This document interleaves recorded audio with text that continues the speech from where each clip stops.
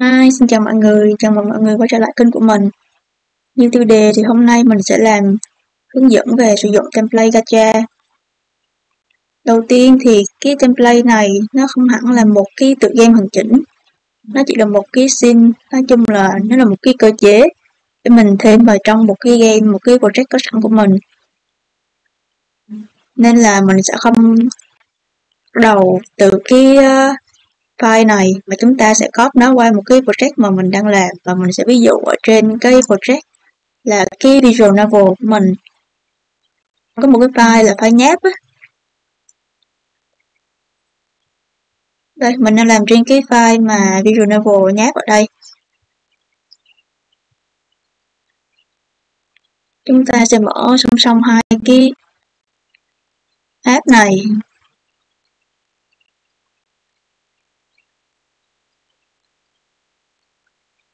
Và vào trong phần mà tổng hợp chung của game game promise uh, game manager và chọn cái scene này. Dấu ba chấm ở phía này chọn vào và chọn copy. Sau đó là chúng ta sẽ pass nó. Mình sẽ để nó pass nó ở trên cái phần màn hình chính. Và pass. Ok giờ chúng ta đã có một cái scene gacha ở đây rồi tuy nhiên bấm vào thì các cái tài nguyên của nó là các hình ảnh này thì nó có chưa được copy theo cho nên chúng ta sẽ làm thêm một bước nữa. Đó là vào cái file gacha và copy toàn bộ tất cả các file ở đây. Copy và sau đó pass vào cái ờ, project mà mình đang làm. Ctrl V. Ờ, oh, chưa được price nữa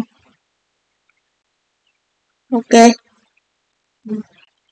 sau đó với cái project, mình sẽ tắt cái game gacha này đi. Và với game này chúng ta save game để mà chúng ta lưu lại cái Xin gacha mà chúng ta đã pass vào đây, lưu nè. Chúng ta tắt và chúng ta mở lại phần mềm gdevelop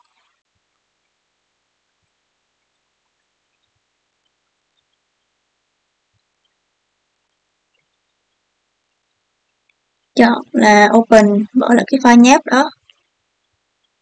Đây, và chọn open.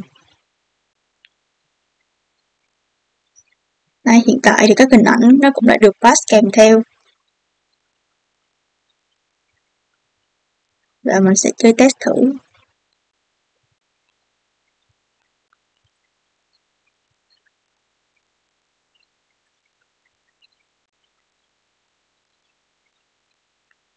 Ok nói chung nó xuất hiện vậy là được rồi đấy, nhưng mà nó vẫn chưa thực sự là nó pass hết toàn bộ.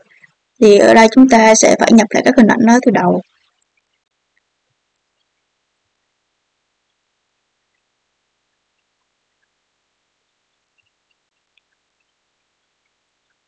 Và một cái tip nhỏ nhỏ cho các bạn đó là các bạn tạo một object mới, chọn sprite, chọn add animation, add sprite sau đó là chọn tất cả các hình ảnh mà các bạn đã pass mình đang làm bên cái sample. Đây, chọn tất cả các hình ảnh ở đây. Shift O và chọn open. Sau đó apply. Và nó sẽ tự động nhập ở đây. Nó sẽ tự động nhập cái hình ảnh vào đây luôn.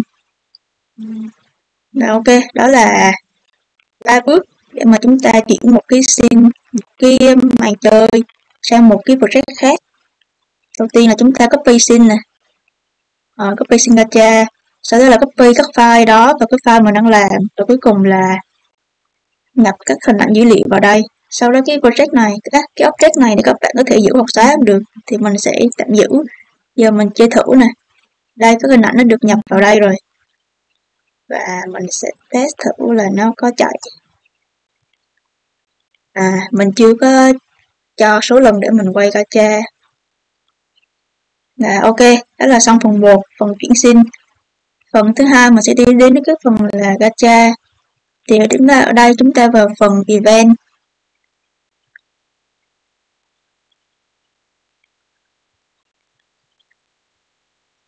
Đầu tiên thì chúng ta cần phải thêm một cái biến, đó là biến mình đặt tên là gacha for ở đây, tức là số điểm, hoặc là số lần mà chúng ta có thể quay và chọn copy. Sau đó vào phần Project Manager và chọn vào Global Variables. Chúng ta sẽ thêm vào à đây là mình có test thử rồi. Chờ một chút để mình set up lại một chút. Ok, chúng ta vào phần Global Variables. Và ở đây sẽ có hai dạng biến của mình là save và biến số. Thì để phần này hiểu rõ hơn thì các bạn có thể xem một cái viết mình làm về biến chỉ số và cộng với thành tựu của nó thì nó sẽ giải thích cho các bạn rõ hơn về các cái biến này và cách để tạo ra chúng. Và mình sẽ nói nhanh lại là cái phần biến số này là các cái giá trị mà nó đi xuyên suốt game luôn. Còn cái phần save này là kiểu đặc biệt dành cho cái template visual novel, đó là nó sẽ save các giá trị này sẽ được lưu dựa theo cái ờ, slot lưu của người chơi.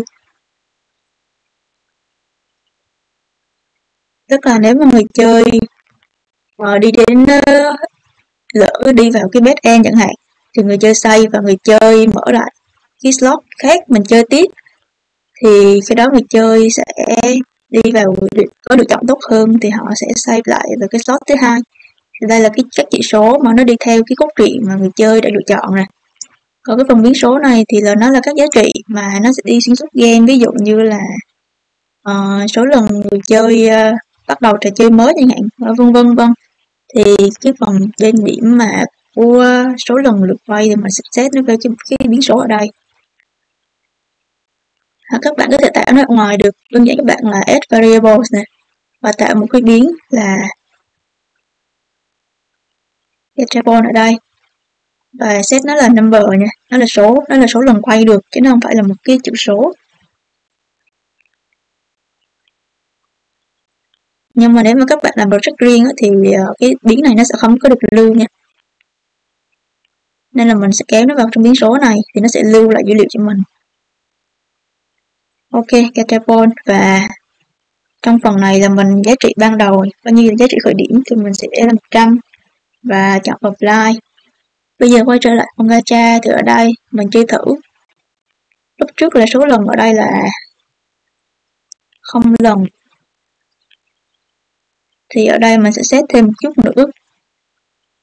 Đây, mình sẽ, mình lớn ở trong phòng biến số, cho nên là mình sẽ set up nó ở đây.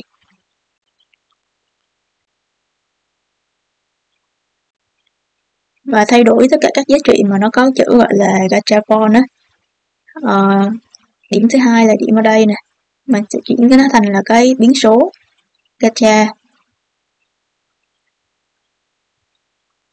và cuối cùng điểm thứ ba là cái số lần nó hiển thị ở đây. Mình bôi đen cái phần giữa này đây chứ còn cái gachapon này mình thay nó bằng cái là biến số. Gachapon và test lại lần nữa. Ok giờ chúng ta đã có 100 lần rồi đây. Giờ thì mình sẽ test thử. Uhm, quay 10 lần này ok skip. Ok hoạt động bình thường.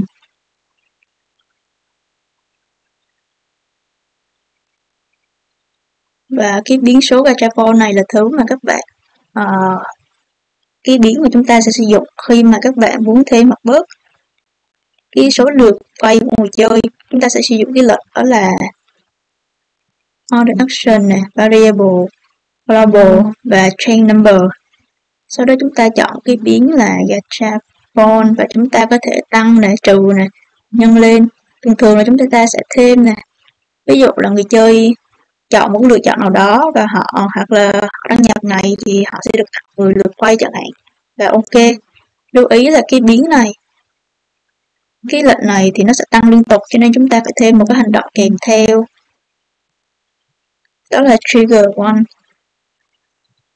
Là ok cộng với các điều kiện khác ví dụ như là khi mà biến uh, người chơi đi đến vị trí nào thì nó nhận được chẳng hạn hoặc là đây các phần add condition là các điều kiện thêm để mà người chơi nhận được cái giá trị này. Ok còn nếu chúng ta để không này á, thì là khi mới vào cái chương này người chơi luôn luôn nhận được 10 lượt. Ví dụ nha mình đang có 100 lượt quay mà nếu mình để lệnh này nè thì mình sẽ có 110 đây. Còn nếu xóa cái này thì mình sẽ có vô hạn lượt quay luôn. Giờ nó cứ tăng liên tục vậy ok mình sẽ xóa lệnh này đi đó là về cái phần setup tới phần thứ hai là cái phần mà mình uh, cài đặt tỷ lệ rơi cũng như là có cái uh, cái danh sách kiểu mà các nhân vật mà mình muốn tạo ra Ok, thì trong cái dạng game của mình á, thì mình chia ra bốn loại. Đó là dạng uh, bình thường, dạng hiếm, siêu hiếm và cực hiếm. Mình biết là NRSR và ESR. Ở đây là cái tỷ lệ R của mình.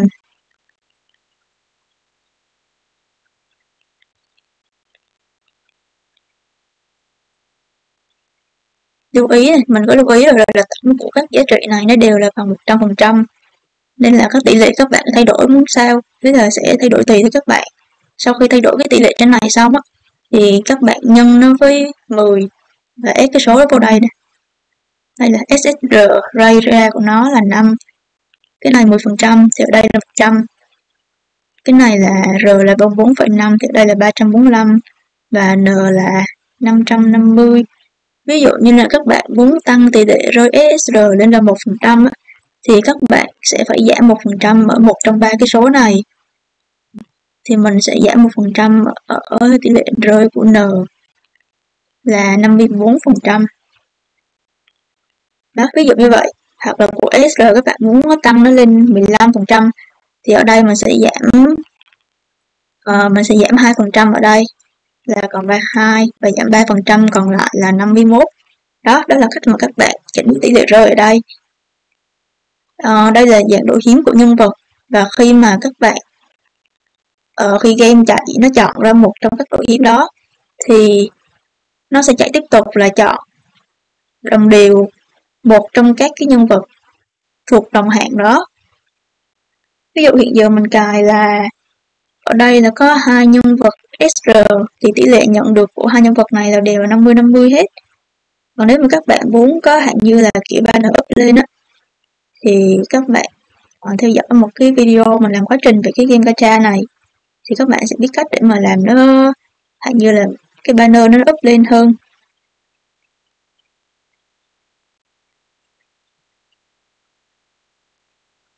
À, nói chung là các bạn hiểu về cái biến cái vị thức random này nè mà không giờ chúng ta làm đơn giản thì chúng ta thực hiện ở đây.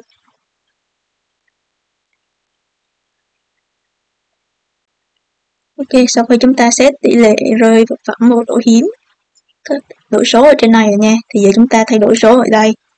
Là 15 này nhân với 10 ở đây là 150 là 25 và 51 là 510 Ok, vậy là chúng ta đã thay đổi cái tỷ lệ rơi của người của, à, của các vật phẩm hay là của cái nhân vật trong cái gacha của chúng ta muốn Giờ chúng ta đến phần thứ hai, cái phần này thuộc dạng là phần cài đặt hình ảnh.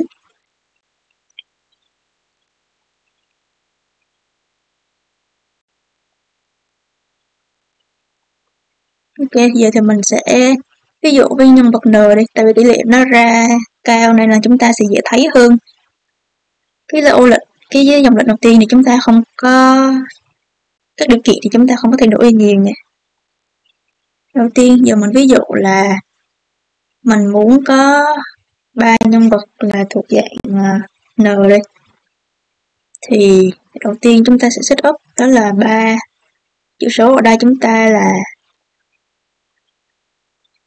à, các bạn chọn một lệnh bất kỳ nào ở đây copy nó. Và pass nó ra. Sau đó cái phần mà random range, à, branch này nè.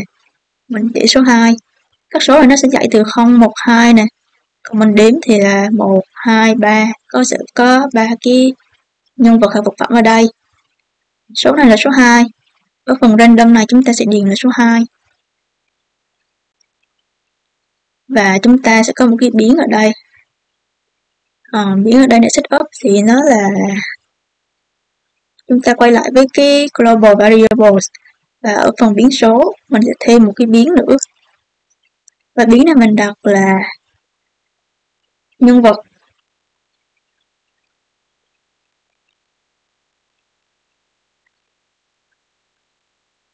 Nó sẽ dạng là structure.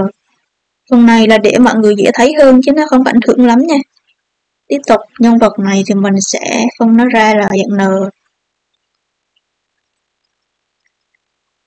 Ờ, uh, rank n này tiếp tục chọn structure. Ấn vào dấu cộng đó và nó tạo ra một cái biến con nhỏ dưới n nữa. Thì ở đây mình sẽ tạo ra nhân vật là AAA này dạng là number. Các bạn có thể chọn vào cái biến này cái dòng này chọn copy sau đó pass ok về là copy của cái này thì mình sẽ đặt là bbb ccc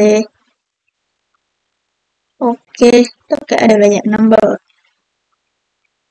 Thì biến này uh, ờ, cái này giống như cái sườn mà để chúng ta dễ hình dung thôi. Thì cái số đây sẽ là cái số mà nhân vật mà chúng ta sẽ nhận được. Mà tất nhiên nó không có hiện ở đây đâu các bạn uh, làm cái này ra để mình dễ hình dung hơn thôi chứ nó không có nó sẽ không có hiện cái số um, lượng, cái số lượng nhân vật hay là vật phẩm mà người chơi có ở trong game đâu. Như mình nói trong mấy cái phần trước thì đây là cái số ban đầu, bắt đầu thì bắt đầu là chúng ta không có bất kỳ nhân vật nào nè, và cứ apply nha, apply. Sau đó khi mà cái biến ngẫu nhiên nó đi là một hai hoặc ba thì ở đây chúng ta cái, cái global variable này nè ở cái hàng đầu tiên nha. Đây mình sẽ giấu cái dưới nhỏ nhỏ trước để các bạn có thể tránh nhầm lẫn. Thì ở đây chúng ta sẽ tăng cái biến của các nhân vật đó lên ngẫu nhiên là 012 này thì ở đây mình nhập vô đó là aaa đây biến số nhân vật và AA random đấy Dạ, và ok. Bbb và ccc ok.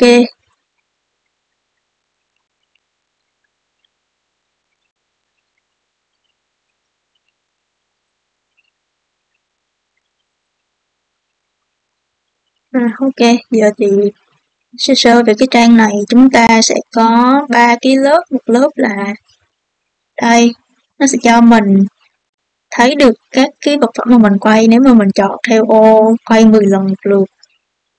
Đó là list 10. Giờ thì mình sẽ ẩn nó đi nè. Hai bây giờ chọn với cái hình con mắt. Đó, nó ẩn đi. Đây là cái lớp mà mình để cho khi mà nhân vật xuất hiện á nhân vật xuất hiện trên xuống dưới sau đó nó hiện rõ hình ảnh ra đó cái lớp animation nó có kèm theo cả là nó có thông báo chúng ta biết là chúng ta trong cái lượt quay 10 lần có quay được nhân sao hay là 10 sao gì không được. Cái đó mình sẽ nói sau. Không lớp này đi đã. Ok. Ở đây mình có để một cái test nhỏ nhỏ, cái phần văn bản này.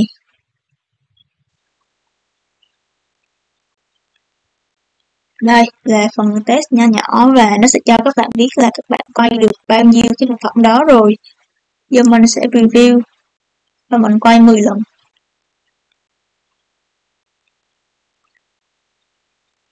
Mua được ESR luôn. Ok.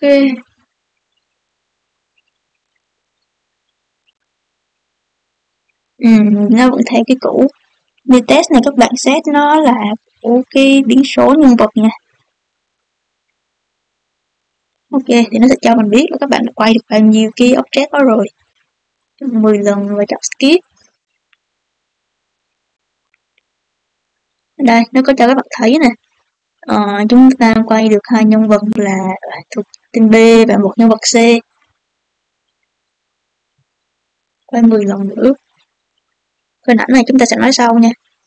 Thì giờ chúng ta được hai nhân vật A, hai nhân vật B, hai nhân vật C. Cái này không phải là tổng nha, cái này là số nhân vật nhận được khi mình quay 10 lần á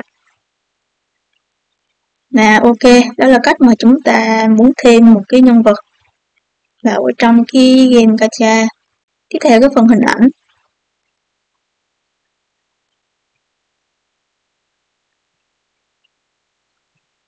Ok.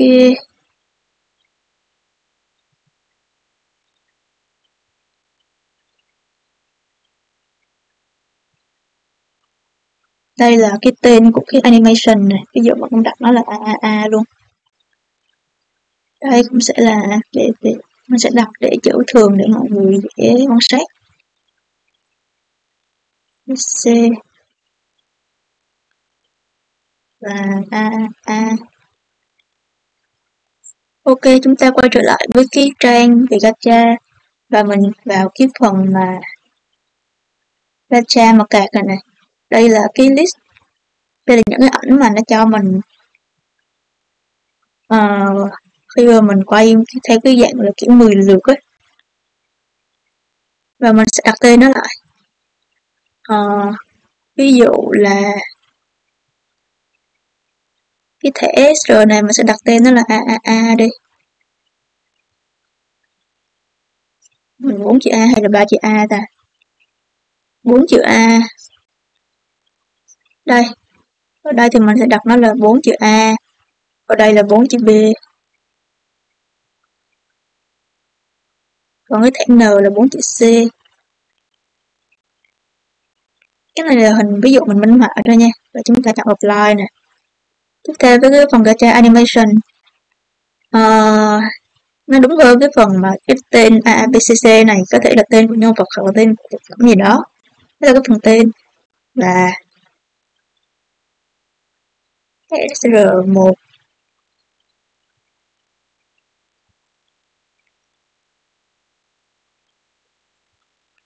Ok, ví dụ là nhân vật tên A thì cái hình ảnh của nó là SR1 tương đồng với cái gacha kẹp luôn tức là SR1 tức là animation của nhân vật là AAA giờ mình chọn apply và mình sẽ preview thử. Ok ở đây là mình không có nhân vật A, B, C nào hết mình chọn file 10 lần nè. Và mình skip tại thì mình có SR2 hình như là nhân vật B này. SR2 là nhân vật B hết. N thì là nhân vật C. Bây giờ thì mình thoát ra. Ở đây, đó mình thấy không? Mình đã quay được ba nhân vật B và một nhân vật C.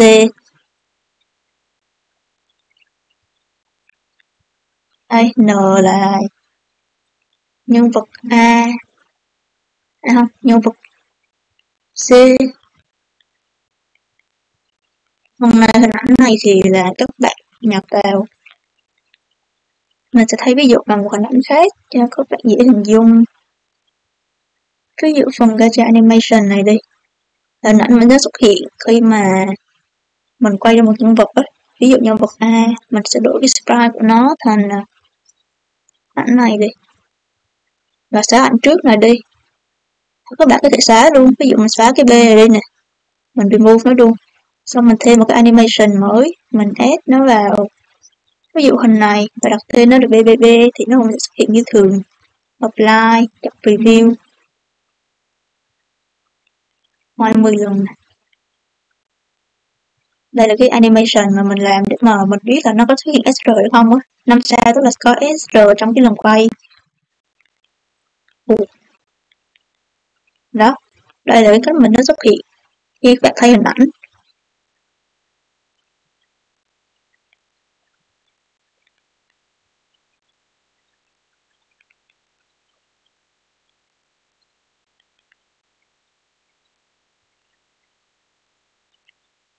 Và tương tự với cái phần là gacha card gacha card thì mình chưa có thêm hình ảnh mới cho nó.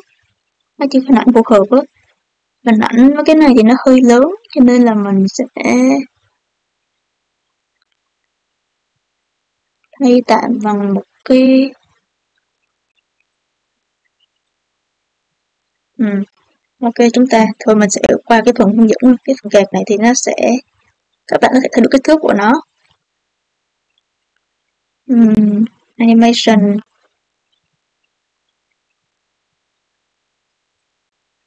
Như nãy thì các bạn thấy cái cài của nó nằm phía tốt bên trên này luôn. Thì nếu mà các bạn muốn mà cái ảnh nó ở ngay giữa vị trí mình mong muốn thì các bạn tạo một cái hình một cái trang vẽ. Uh, mình nên sử dụng các phần vẽ nha tại vì nếu dùng pen thì nó vẫn không nó không có được cái ờ, hình nền trong suốt nó không được tách nền đó thì ở đây mình tạo một cái trang mà có kích thước là 160 đến 1600 nhân 1000 pixel ở đây. Thì vừa rồi cái kẹp của mình á, nó nằm ở vị trí đây. Cho nên là nó khi xuống thì nếu xuất hiện á, thì nó sẽ nằm phía bên trái màn hình. Còn nếu các bạn muốn xuất hiện giữa thì các bạn cứ vẽ cái kẹp đó ở đây. Thì các bạn sẽ save nó. Vào cái trang mà mình đang làm việc thôi. Giờ mình sẽ đặt cái này là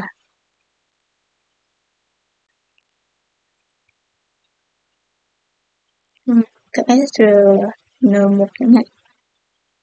Và chọn save. Sau đó quay về lại cái ờ, phần làm game và cái animation. Mình sẽ tạo một cái mới. Add sprite, chọn cái này.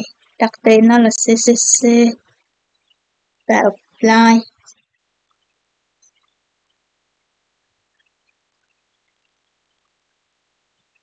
Trùng với cái này thì mình xóa trên này đi.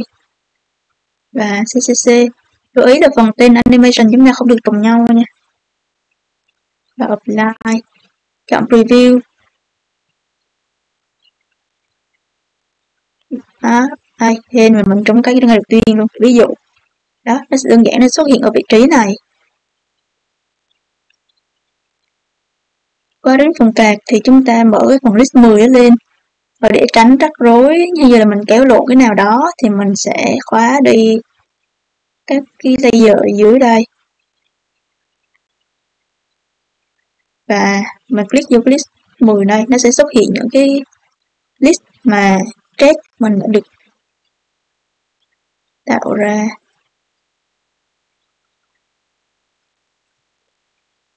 Ừ, về phần nền thì các bạn chỉ cần nhấn đôi nó và sau đó chọn hình ảnh phù hợp hơn thôi nha. Ví dụ là hình này mình sẽ đổi thành hình nền này chẳng hạn. Và apply. Xóa hình trước đi. Sau đó mình chỉnh kích thước của nó như bình thường. Và giờ chơi thử. Thì hình nền của nó nó cũng sẽ được đổi. 10 lần này và skip. Đây hình nền của nó là đã thay đổi này còn cái này là mình là độ kích thước của nó như là nó bị nhảy hình ừ. mình xây theo cái nào để ta? Không mình xây vô cái phần cạc. Đó là mình phải xây vô cái phần đây. Xây lại.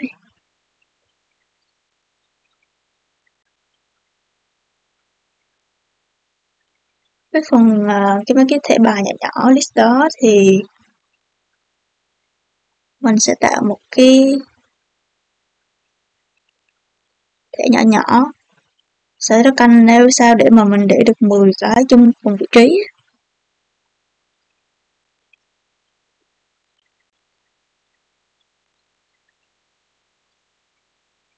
Ok để rồi đi. À, copy đi và lưu nó vào trong phần thẻ bài của cái lá N. Ok.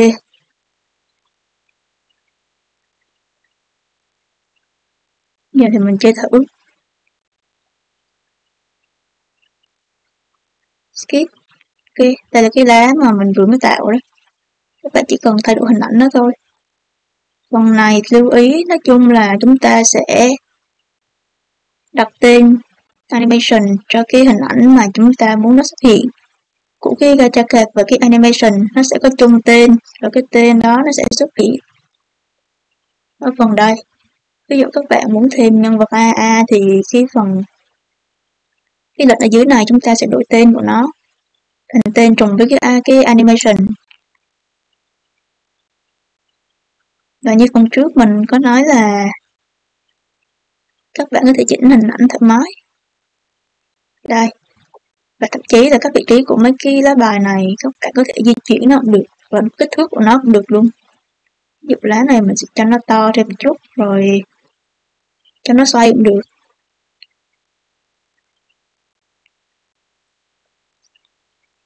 Ok, và preview chúng ta. 10 lần và skip. Đó, đây là khi mà màn hình gacha nó xuất hiện nếu như các bạn thay đổi nó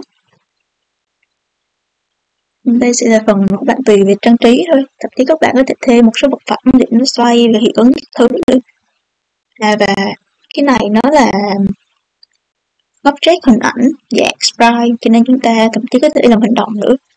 Đây ví dụ phần cha và cái phần này. Mình sẽ thêm ví dụ hình ảnh này này. Và chọn lúc cái hình ảnh này nó lặp đi lặp lại tầm cỡ 6 giây. À, không phải 6 giây và chọn review nè. Giờ thì mình chơi 10 lần mình skip. Đây có cái hình nó đang ảnh động đó các bạn. Tương tự với cái gacha animation nếu mà cái phần hình ảnh trong nhân vật xuất hiện các bạn muốn làm nó là animation cũng được luôn. Ví dụ là a a nó đều là n chắc nó xuất hiện cái gì không? Mình sẽ quay 10 lần.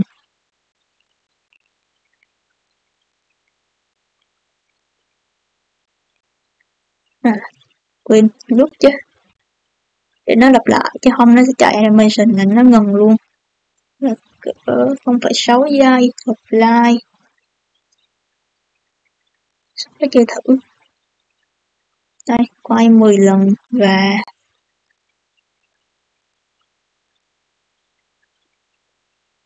Đấy, các bạn có thể làm hình ảnh động trong một cái game gacha nữa. Mà sao riết rồi không biết là mình làm game có yếu tố gacha hay là game gacha luôn được đó ok.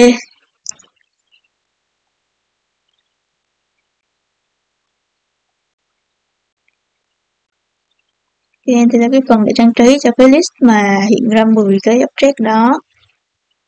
Phần mình sẽ ẩn nó đi. Là mình mở khóa các cái mình sẽ mở khóa giờ mình chuyển sang cái animation ở đây. À rồi coi. Như các bạn thấy thì mình có để một cái dạng animation kiểu thông báo này là nó sẽ cho mình biết là cái đợt quay của mình là mình quay được vật phẩm mấy sao á. Ví dụ đây là ba sao này 10 lần và trong cái tổng lần quay này là mình sẽ nhận được một SR thì nó 5 sao ở đây.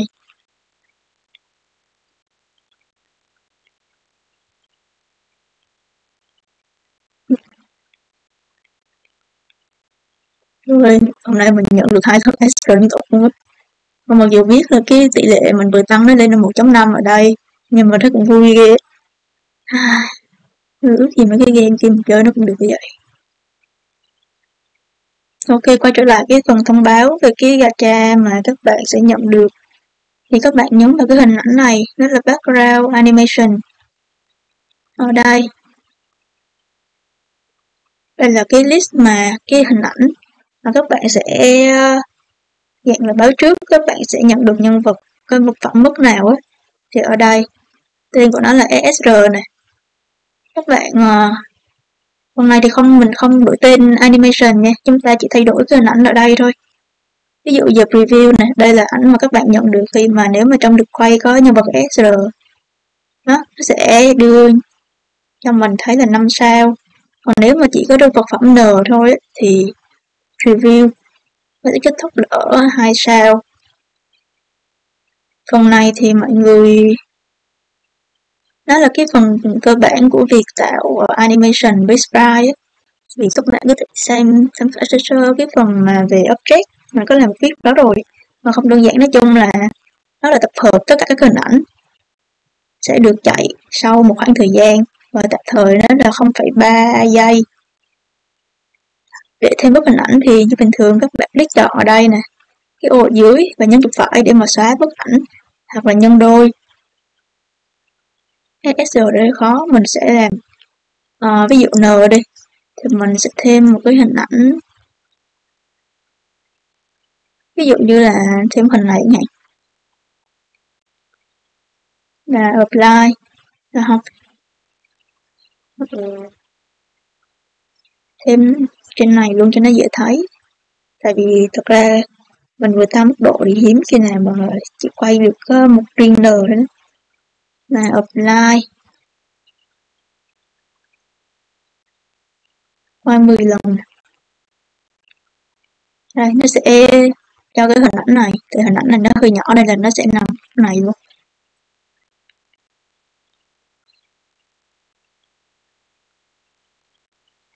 Ok, cái phần này nó ngắn gọn là mình tập hợp tất cả các hình ảnh. Nói chung là là một cái cái cuốn phim nhỏ nhỏ vậy rất là nhiều hình ảnh. Và ở đây là cái thời gian mà nhảy từ ảnh này ra ảnh kia. Và nếu muốn xóa thì các bạn sẽ nhấn vào đây, delete. Và nếu cái SR này mà nó nhiều hình ảnh mà các bạn lùi xóa thì các bạn ấn xóa đây luôn được.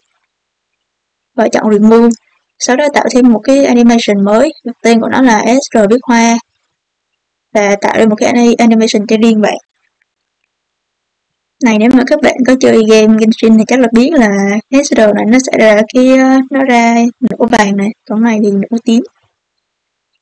Đó, ok mà trên Genshin thì họ có cơ chế là qua 10 lần thì chắc chắn là nhận được thực phẩm cấp tím còn mình thì nói chung là khả năng có hạn nên là chúng ta sẽ quay chay như thế này.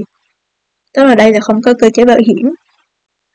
Cho nên là nếu mà các bạn làm cái tỷ lệ này mà có 0,3 thì nó hơi ờ, nó một cái game nó hơi là hơi trầm cảm. Hơn đó và ok.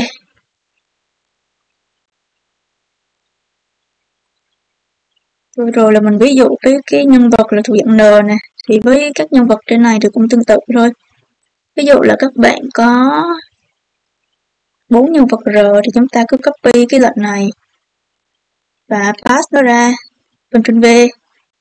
Tự các số này 1, 2, 3 và ở số 3 này chúng ta sẽ thay đổi với số đây. Chấp 3 nè. Sau đó là chúng ta thay đổi cái biến ở đây. Thay đổi biến xong thì chúng ta sẽ tạo cái ảnh animation cho nó thay đổi tên ở đây. Đồng thời là nhập hình ảnh với cái tên tương tự ở trong phần gacha card và gacha animation. Ok mình sẽ tắt cái animation ở đây. Cuối cùng là cái banner. Banner thì cái phần test này là để mình uh, test thử là trong lượt cái lượt mà 10 lần quay đó nó ra được một phẩm nào thì phần test này các bạn có thể nó đi.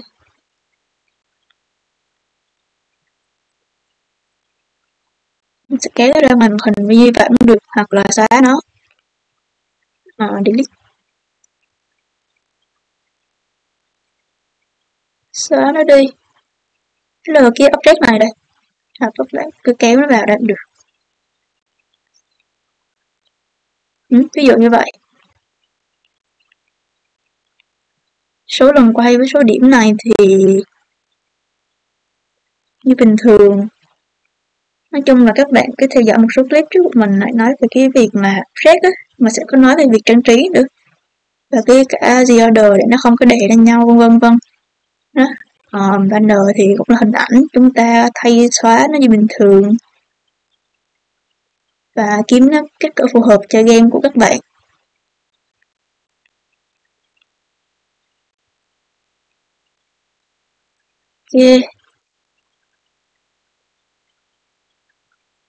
Và cuối cùng tất nhiên là save game, control save và chắc chắn đảm bảo là cái project này đã được save một cách ờ, phù hợp.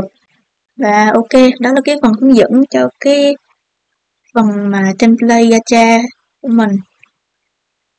Và cảm ơn các bạn đã xem đến hết video. Hẹn các bạn ở lần sau với những cái template mới. Bye. bye